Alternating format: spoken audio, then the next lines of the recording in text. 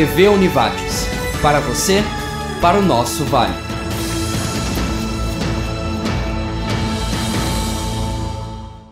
Na edição do JU de hoje, Univates e comunidade do Vale do Taquari celebram conquista. depois de dois anos de processo de implantação, o MEC autoriza o curso de medicina. O primeiro processo seletivo já acontece em 2014. Prefeitura de Lajeado assina convênio para destinação de entulho e anuncia a construção de 448 apartamentos populares. Na série sobre voluntariado, uma matéria da Unisque TV. E no esporte, Vira enfrenta o Caxias no primeiro jogo da final do estadual. Essas e mais notícias a partir de agora. O Jornal da Univates está no ar.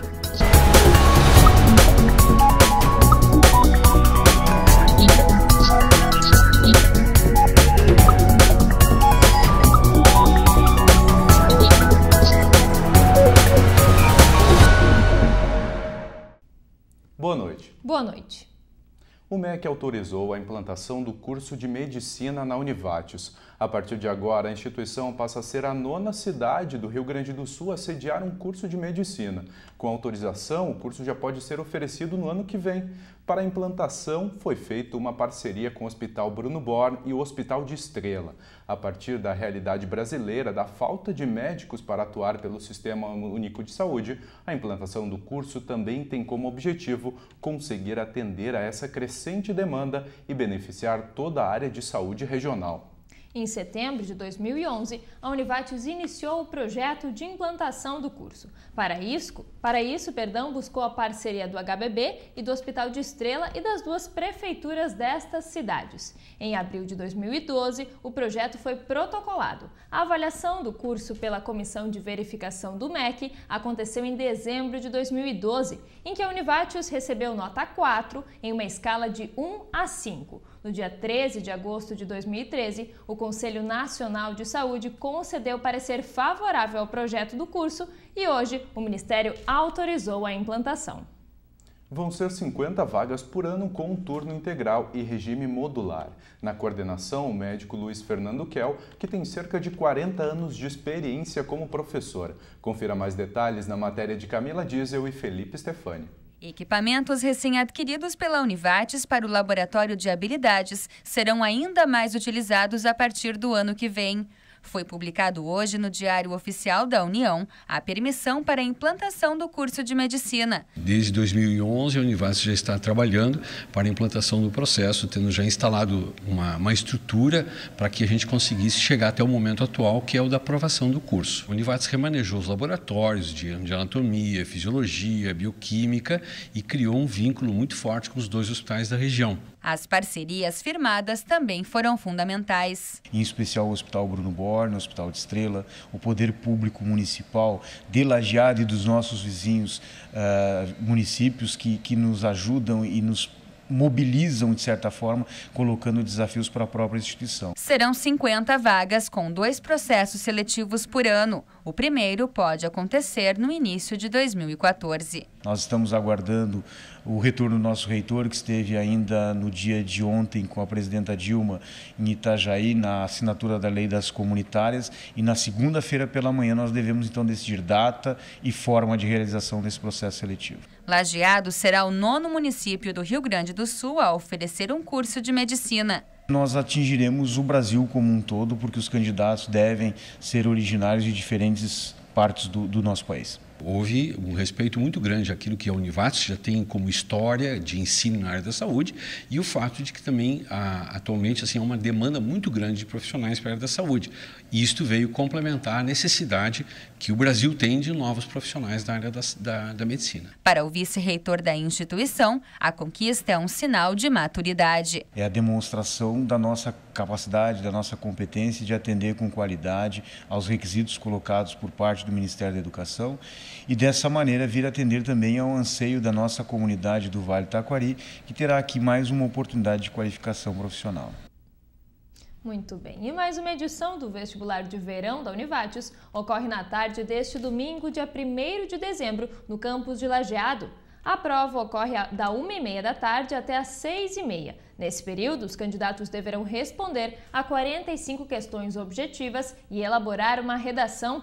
Os candidatos serão informados por e-mail sobre o local de realização da prova com a sala e o prédio. A lista completa dos candidatos e das salas também estará disponível no site univates.br/vestibular.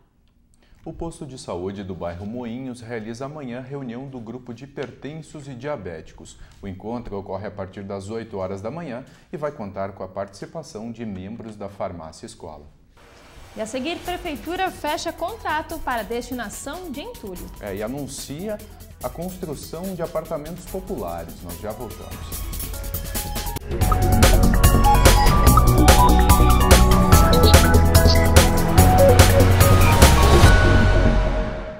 As inscrições para o passeio ciclístico de Santa Clara do Sul, programado para o dia 8 de dezembro, foram reabertas e podem ser feitas pelo telefone 3782-2275. O valor é de R$ 2,00 por pessoa. Quem manteve a inscrição de outubro quando o evento foi cancelado devido à chuva está automaticamente confirmado. O passeio começa às 10h30 da manhã, com saída em frente à Igreja Matriz, em direção à praça, e com chegada de frente ao Clube Centro de Reservistas. Haverá o sorteio de quatro bicicletas entre os participantes e cada ciclista receberá dois picolés após realizar o percurso. A Prefeitura de Lajeado assinou convênio para o recebimento de entulhos e anunciou a abertura das inscrições para o projeto habitacional que vai permitir a construção de 448 apartamentos financiados a pessoas com renda familiar de até R$ 1.600 por mês. Em coletiva de imprensa realizada hoje pela manhã no Salão de Eventos da Prefeitura, o prefeito Luiz Fernando Schmidt assinou o contrato com a Cooperativa de Trabalho do Alto Taquari, a Coutrauto, que agora fica responsável pelo recebimento e destinação de entulho de lajado.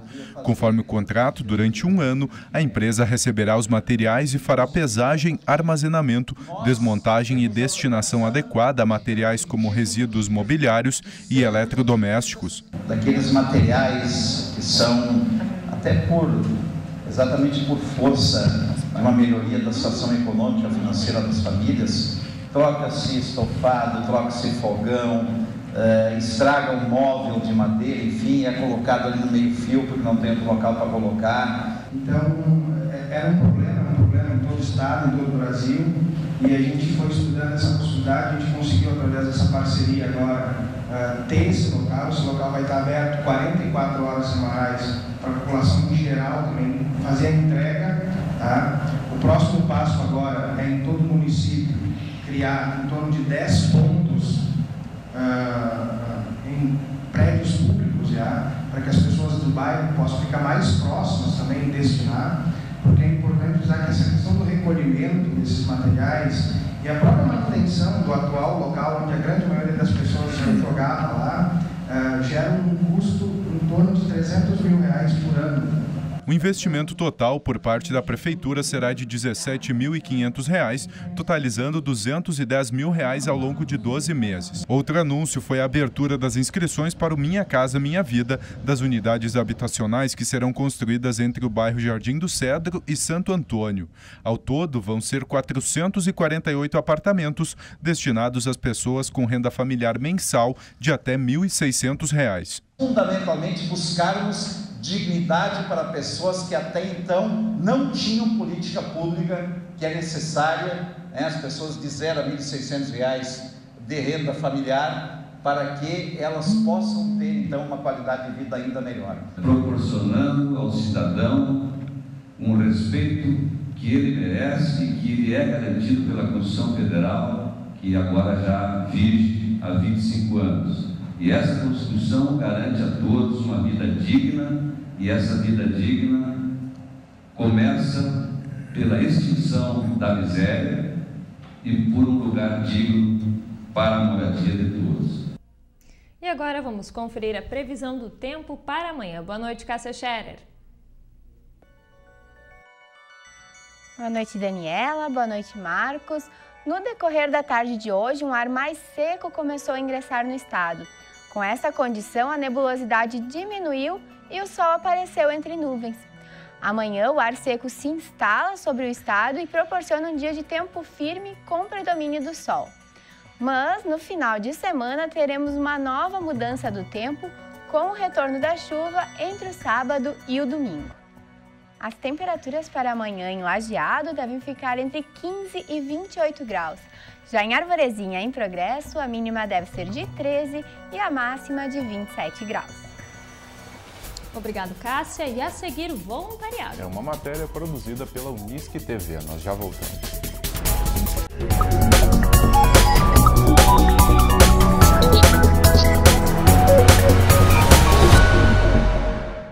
A Igreja Católica celebra todos os anos, na quarta quinta-feira do mês de novembro, o Dia de Ação de Graças.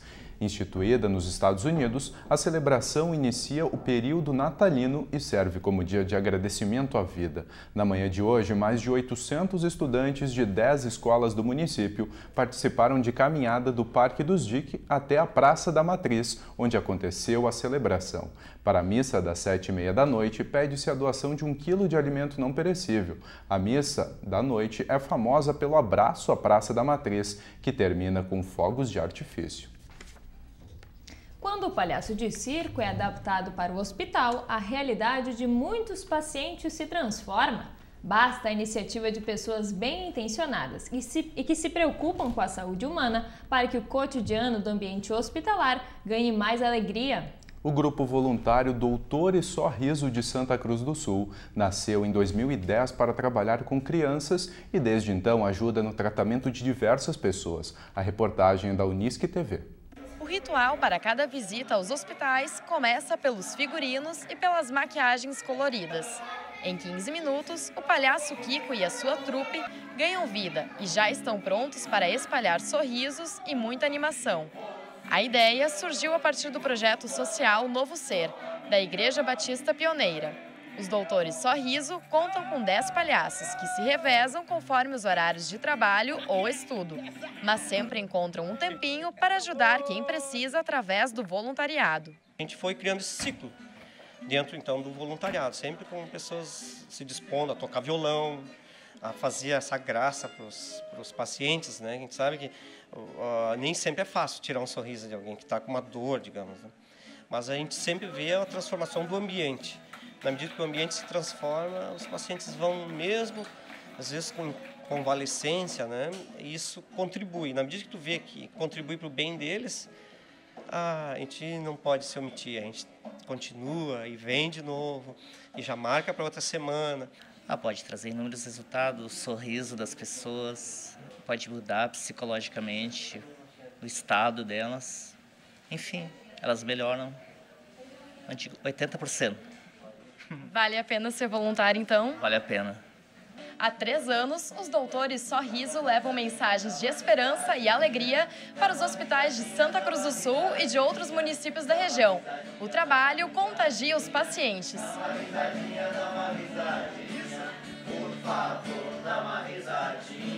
O Hospital Ana Neri é uma das instituições que recebe os doutores Sorriso.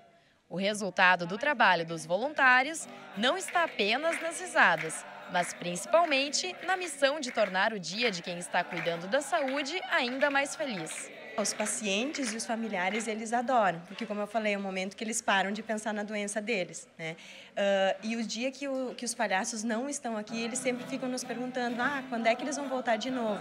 Hoje, por exemplo, foi um dia que, a, que uma das pacientes nos falou assim, ah, quando é que será que vem os palhaços de novo? E hoje eles estavam aqui e ela se realizou totalmente, porque é, foi um minuto para parar, para pensar, para esparecer uh, e de muita alegria, principalmente. Recebe com alegria, né? Paciente que está meio triste, dá uma alegria. Ajuda e muito. Ajuda e muito, que de repente às vezes a gente está só é, pensando né, naquele problema, de repente a gente se distrai daí com a música, né? Gostei muito. Já tinha visto eles outras vezes lá embaixo no COI, né? Que minha mãe se trata lá. Acho muito bom mesmo. Às vezes emociona a gente também, né? Minha mãe mesmo hoje, ela tinha sorrido, ó. Sorriu agora, né? Eu acho bom, muito legal. Você tem que continuar, né? Sempre. E aí a gente ouviu o testemunho já. Ah, você lembra de mim? Ah, eu estava lá, eu já estou bem. Mas eu, né, opa, contribuir de alguma forma, né? Para que eles fiquem bem, né, melhorem. Acima de tudo é amor, eu creio. Voluntariado é amor. E a seguir o esporte. É, o Bira enfrenta o Caxias no primeiro jogo da final. Nós já voltamos.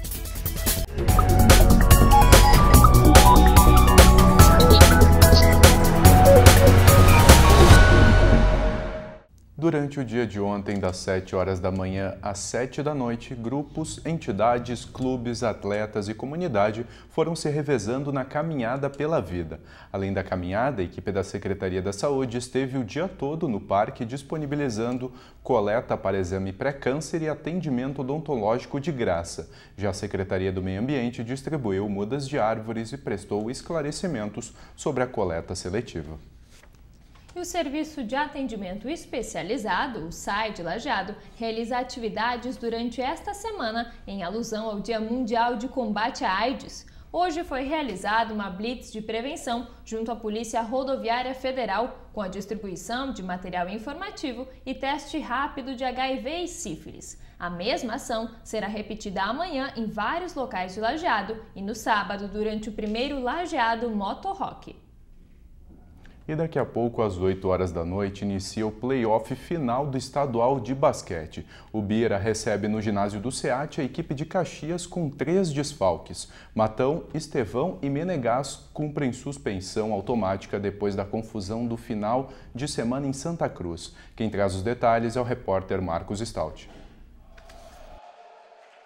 que hoje é dia de decisão, a gente sabe. Partida entre Bira e Caxias, que começa a definir o campeão gaúcho deste ano. Ginásio do SEAT promete ser um caldeirão, até porque três jogadores do Bira estão suspensos desta partida.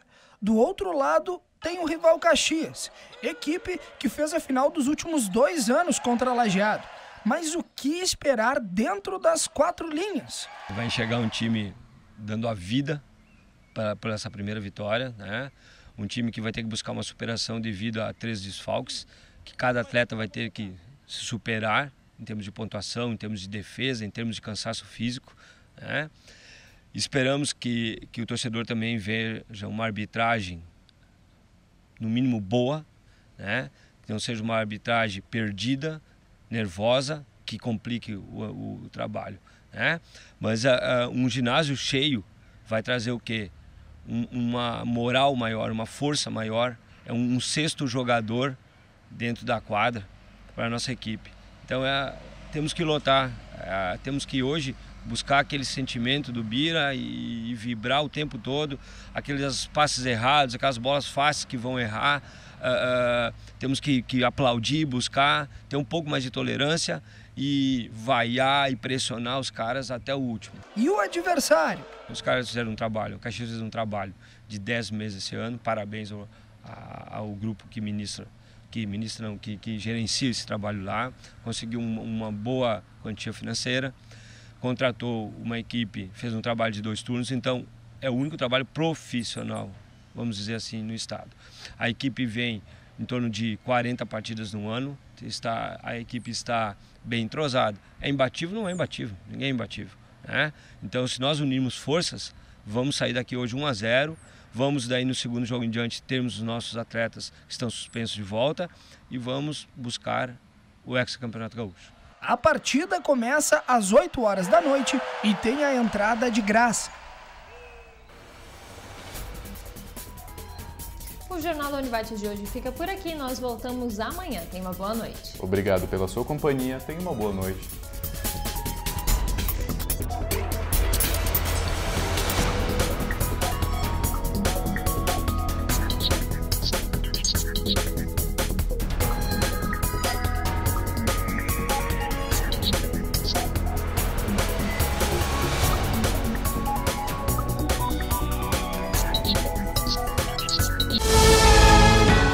TV Univates. Para você, para o nosso Vale.